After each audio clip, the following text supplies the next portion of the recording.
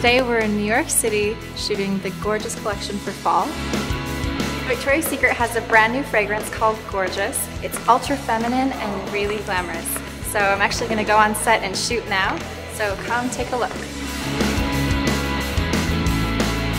The Gorgeous fragrance to me is a supermodel scent because this is what we love to smell like. It's a very light, fresh, sensual scent. It's good for any occasion. It's not too overpowering.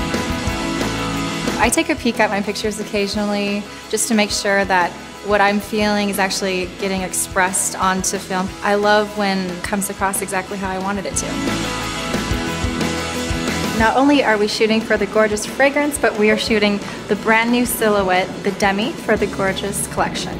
It's a lower cut, more revealing shape, so it's super sexy and feminine, and I love that it now comes in lace.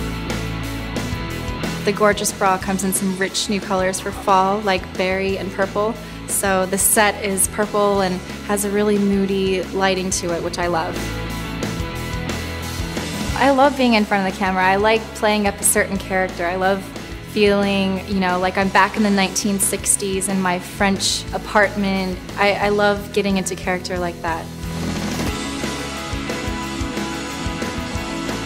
So I hope you enjoyed the behind the scenes look at the gorgeous bra and fragrance. I'll see you later. Bye gorgeous!